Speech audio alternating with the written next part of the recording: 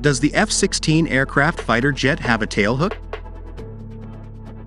The F-16 Fighting Falcon is a multi-role fighter aircraft that was developed by the United States Air Force, USAF, in the 1970s. It has since been adopted by numerous other countries around the world and has become one of the most widely used fighter aircraft in the world.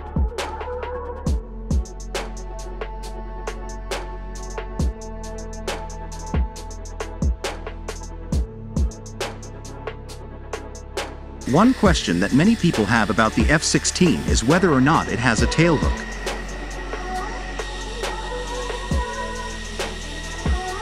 A tailhook is a device that is mounted under the tail of an aircraft and is used to catch one of the arresting cables that are stretched across the deck of an aircraft carrier.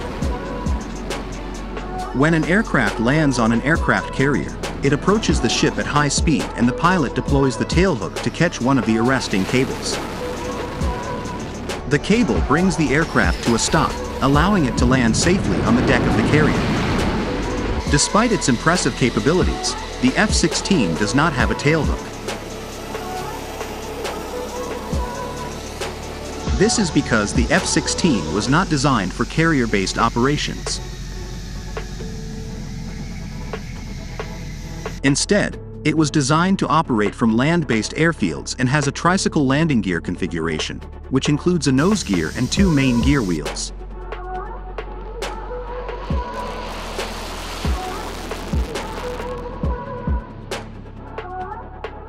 This allows it to land on a runway and provides sufficient stability while taxiing on the ground.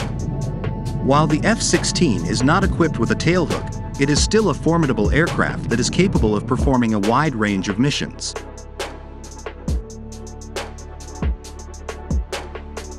It has proven to be a reliable and effective platform in various conflicts around the world and has earned a reputation as a formidable opponent in air-to-air -air combat. Thanks for watching.